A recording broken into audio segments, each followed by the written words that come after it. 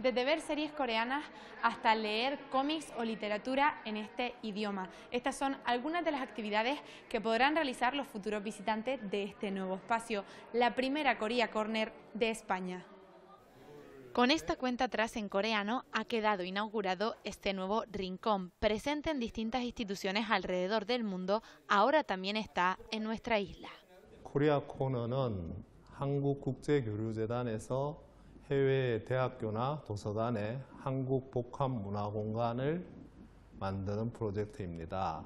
Una construcción dotada con un presupuesto de más de 16.000 euros. El objetivo, Es un espacio donde podemos establecer relación, donde podemos hablar y donde una persona canaria puede entrar en contacto con la cultura coreana, conocerla, conocer sus libros, conocer su gramática y poco a poco ir abriendo el apetito, no solamente en lo gastronómico para ir a un restaurante, sino poder en un momento dado llegar a visitar el país de Corea.